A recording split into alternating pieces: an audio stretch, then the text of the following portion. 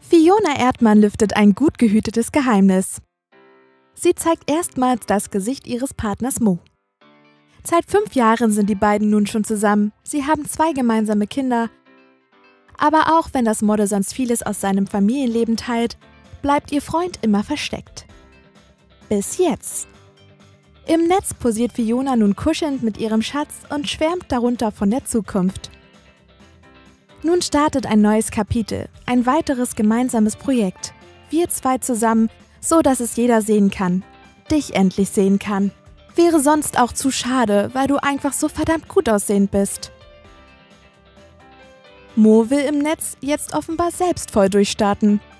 Er kann auf seinem eigenen Instagram-Account in nur einem Tag schon 18.000 Follower gewinnen.